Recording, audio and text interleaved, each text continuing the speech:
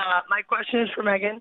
I love you on The View, besides the fact that you are like a predecessor hero of the of, a, Oh, of an American hero. Can't. Uh, I am a Democrat, but I still love you, and you're my favorite Republican ever. Thank you. Uh, do you think that you might possibly vote Democrat in the 2020 election? I get asked about this all the time, and I will say, and I'm just going to leave this like this. Yeah.